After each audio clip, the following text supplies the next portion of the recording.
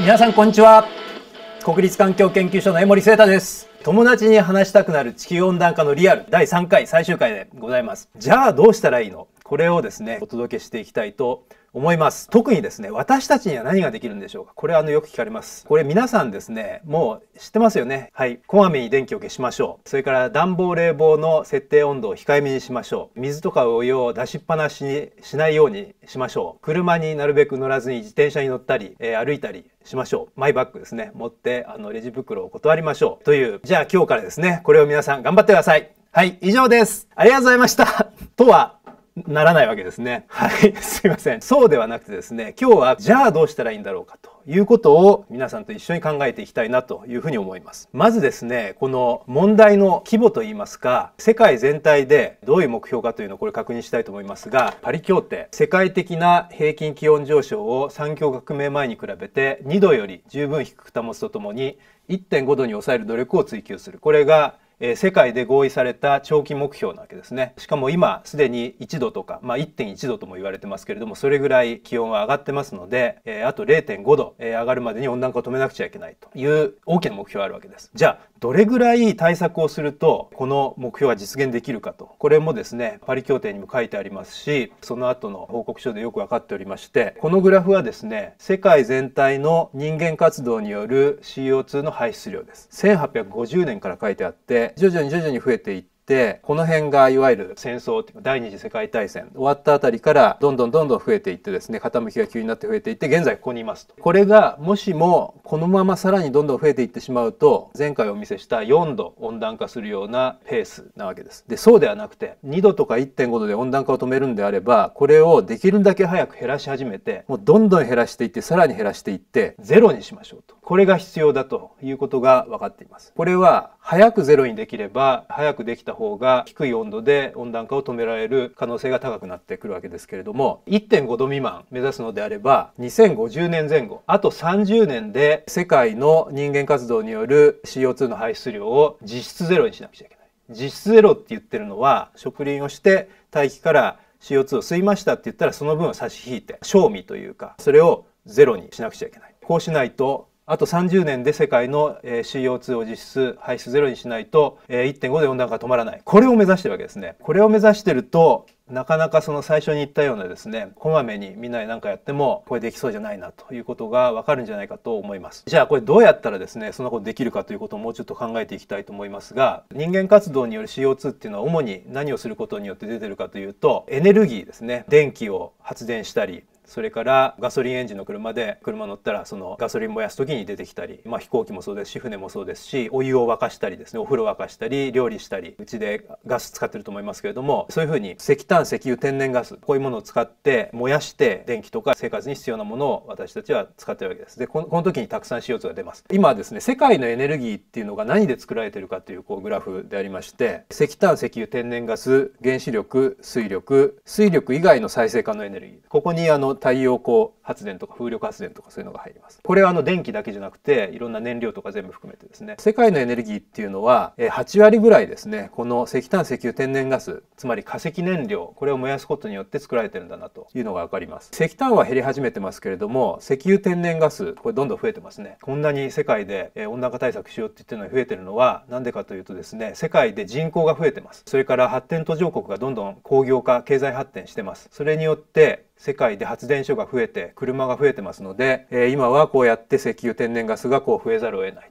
今日はあのこのちょっと細かいとこ一箇所説明したいと思うんですけどこれちょっとへこんでますね。2009年ちょっと石油を使う量が世界で減った年があります。これはですね日本ではよくリーマンショックっていうんですけど世界金融危機というのがありましてすごくその世界の経済活動が落ちた時。でまあそういうことがあればこうやってちょっと減るんだけどまた元に戻ってまた増え続けてるわけですよね。なんでこの話したかというと今年はリーマンショックじゃなくてコロナショック。新型コロナウイルスの感染防止によって今世界でですねいろんな活活動が自粛になったりとか移動を控えたりとかそういうことが起きてます。ですので今年も実はこの排出量がですねこれみたいにこうちょっと下がるだろうと言われてます。じゃああよかったねと CO2 排出量下がったねって言ってていいかというとおそらくそうじゃなくてその後また上がりますのでダイエットのリバウンドみたいにそうやって無理して減らした分はまた元に戻ってしまいますのでまああんま嬉しいことじゃないんですけれどもあのおそらく今年に関してはこうやって減るだろうと言われております。さてそれでですねこっち見ていきたいと思いますがこちらが3つは CO2 CO2 を出さないエネルギーですね。原子力世界ではだいたい横ばいです。で水力増えてます。で再生可能エネルギーはすごい勢いで加速度的に増えてるわけですけれども絶対量は残念ながらこれだけであると。これが今後ですねこの勢いでどんどん増えていって最終的にはこれらを置き換えてほしいなと。これが起こってほしいというふうに今考えられているわけですね。これ世界ですので日本のあの同じグラフを見てみますとまずですねこれ石油減ってますね。リーマンショックでへこんでるところがあってこれあの車の燃費が良くなったりとかですねそういうので結構頑張ってると思います。で石炭世界では減り始めてると言われてるんですが減っていないことが世界から批判されてるというのを最近皆さんよく聞くんじゃないかと思います。それから特徴的なのがもちろんこの原子力ですよね。2011年にガクッと半分になってそれからガクガクッとほぼゼロまで来て最近またちょっと増えてると。これはもちろん2011年3月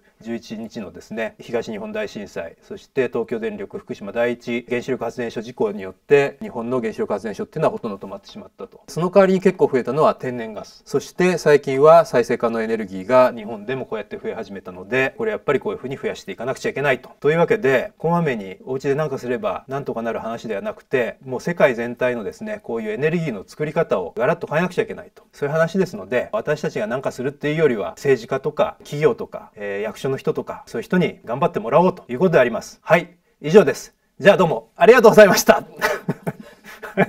もう一回やるかっていうすいません。とはなりません。そうではなくてそういう大きな問題だと認識した上でじゃあ私たち一人一人っていうのはこの問題どういうふうに考えて何をしていったらいいのかなということをここから考えていきたいわけですね。そのヒントになるんじゃないかと思ってこういう話をしたいと思います、えー、皆さん知ってると思いますがグレタ・トゥンベリさん17歳のスウェーデンの環境活動家。彼女が世界の若者のこの気候変動対策の世界を変えようというリーダーになってるわけですがグレタさんは飛行機に乗らないと。飛行機に乗ると CO2 が出るので太陽光発電のヨットかなんかに乗って大西洋を横断していろんな会議に出たり戻ってきたりとかしてるわけです。じゃあグレタさんはなぜなぜ飛行機に乗らないかこれ皆さん考えてみたことあるでしょうか？グレタさんが実際に何て言ってるかっていうのをちょっと見てみたいと思いますが個人の変化よりシステムの変化が必要。システムの変化っていうのは社会の仕組みが変化することが大事だと。まあだけど社会の仕組みが変化するためには個人も変わらなくちゃいけない。で社会の仕組みが変われば個人は変わるよと。両方大事だけどシステムの方が大事だというふうに言ってるんですね。でもう一つ見てみたいと思いますがみんな飛行機に乗るなというふうに思ってるから自分は飛行機に乗らないで船で旅してるんではありませんよと。そういう理由じゃありませんよと言ってます。そしてメッセージを発してるんだ。どんなメッセージかというと今日持続可能に生きるのは不可能だ。つまり、えー、今の世界で CO2 出さないで長距離旅しようとしたら私みたいに船で行かなくちゃいけないんですけど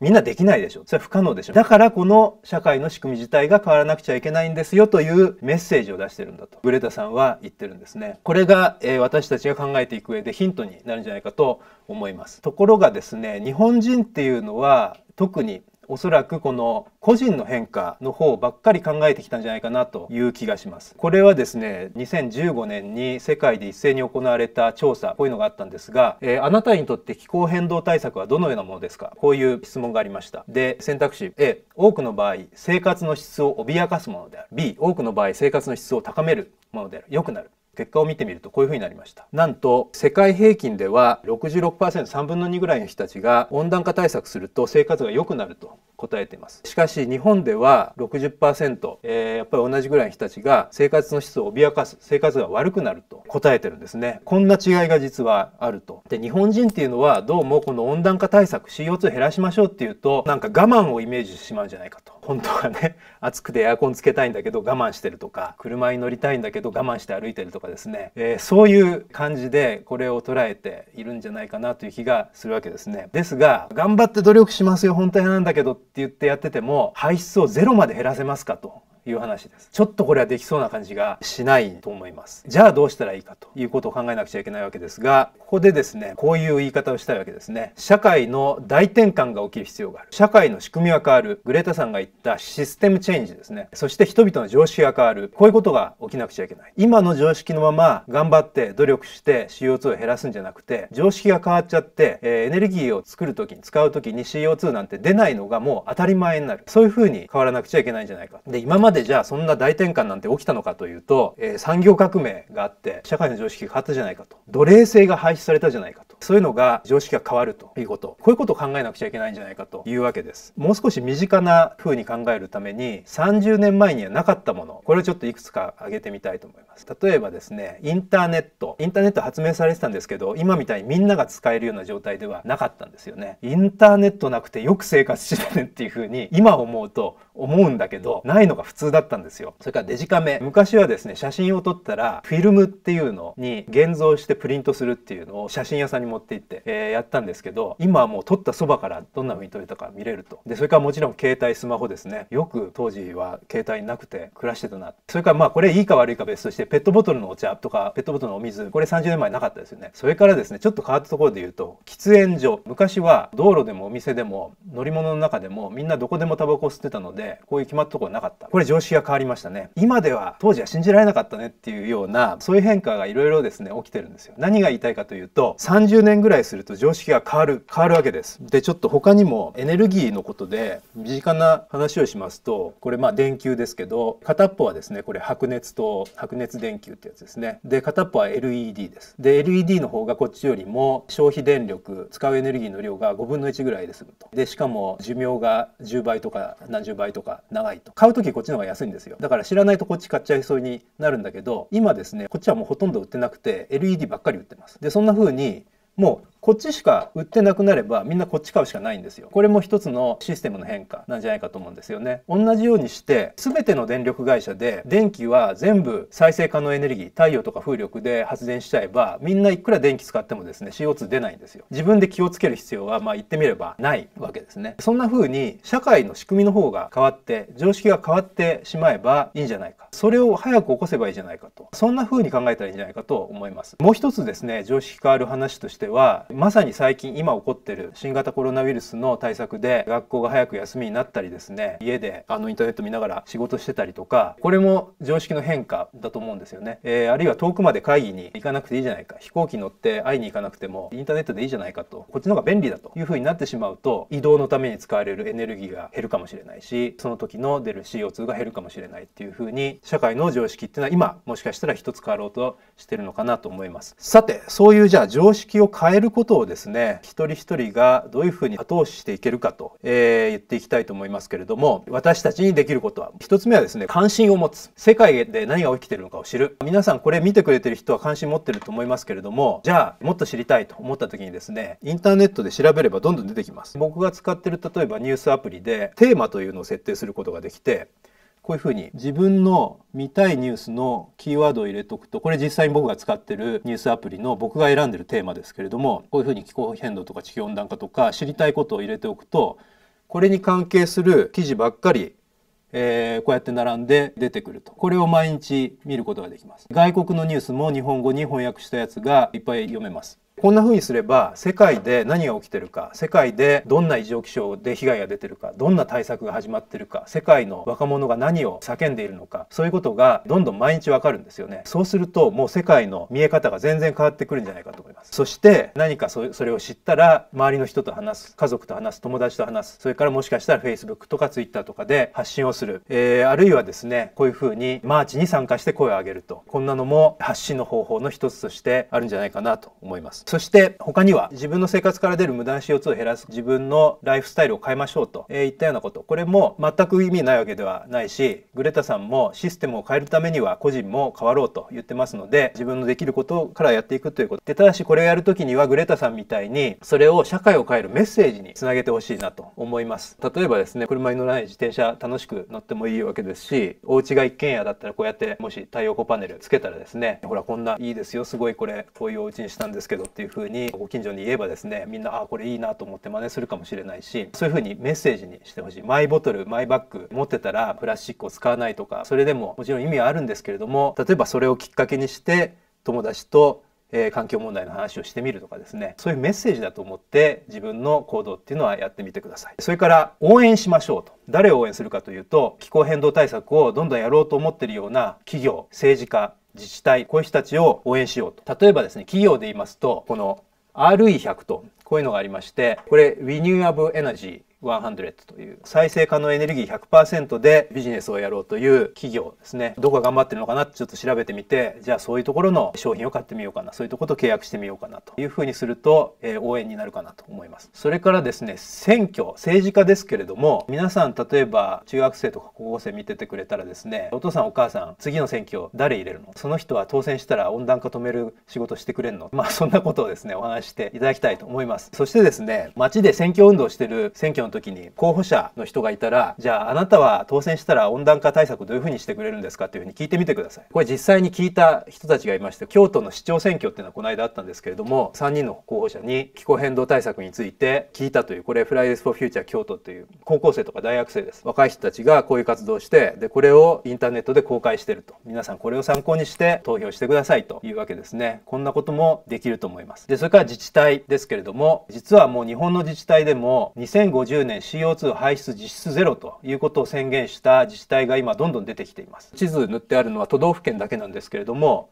えー、ここに載ってないところもですね市町村のレベルで宣言しているところもここに載ってなくてもいっぱいあります。自分の住んでるところがですね宣言してたらじゃあ実際にどういうふうにやるんだろうなということに興味を持って調べてみたり話し合いがあったらお父さんお母さんと一緒に参加してみたりですね。あるいは自分の住んでるところではもしこういう宣言がされてなかったらなんでしないんですかというようなことを周りの人と話をしてみたりですね。そういうふうにこれにちょっと興味を持ってほしいなと思います。以上が私たちにできる常識を変える取り組みとして僕がおすすめの行動です。もう一つ SDGs 国連の持続可能な開発目標というですね世界で世界を良くするためにこういうことを目指していきましょうということを17個決めたんですね。気候変動地球温暖化っていうのはそのうちの1個ここにあります。だけど言いたいのは何かっていうと世界には地球温暖化以外の大事な問題はたくさんあります。貧困飢餓健康教育格差だとか平和だとか。温暖化の話ばっかり僕はしましたけれどもどんな手を使ってでもいいから CO2 減らしたいという話をしてるわけではないわけですよ。そうではなくてですねこういう他の問題をどんどん良くしながら温暖化も止めたいと。そういうやり方で対策を考えていきましょうと。実際例えば格差が小さくて平和になってそういうふうに世の中が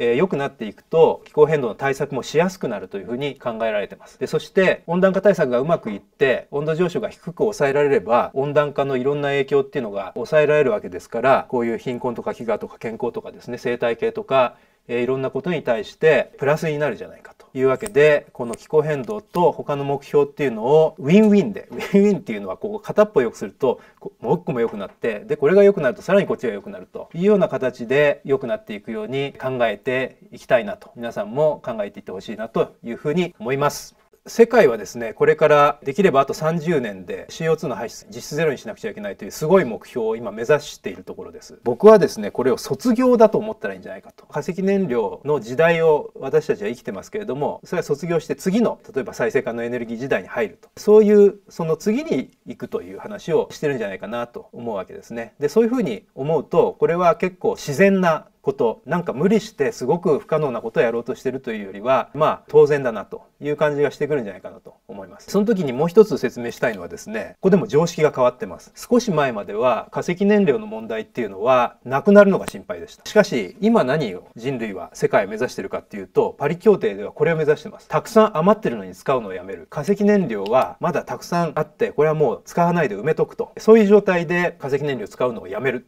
これが起きないとその1.5度とか2度とかで温暖化は止まらないというわけなんですよね。で果たしてそんなことは起きるでしょうか？実はとてもいいことを言った人が昔いましてですね石器時代が終わったのは石がなくなったからではないという言葉があります。石器時代ってのは昔あったわけですが何で終わったんでしょうか。これ次の時代が来たわけですよね。石がなくなったから終わったんじゃないと。いうわけです。で同じようにしてですね我々が化石燃料時代を卒業するのは化石燃料を全部使い尽くしちゃったから次を探さなくちゃいけないというふうにして終わるのではなくてですね化石燃料よりももっといいエネルギーをみんなが使えるようになった時にもう化石燃料はたくさんあるけどもう誰も使いたいとも思わないよと。これを目指してるんだと思うんですよね。で今太陽とか風力とかがどんどん安くなってだんだんそういう風になってきてると思いますが誰か偉い人がやるのに任せてるとそれがいつ実現するかいつ卒業が来るかっていうのは分かんないわけです。これをパリ協定1.5度目指すのであれば今から30年で卒業しなくちゃいけないというわけなんです。ですので皆さん一人一人が少しでもこの問題に興味を持ってその卒業をですね応援する後押しする加速するそのことに参加してくれたらいいなというふうに思います。これがあの僕からの最後の、え、メッセージであります。ありがとうございました。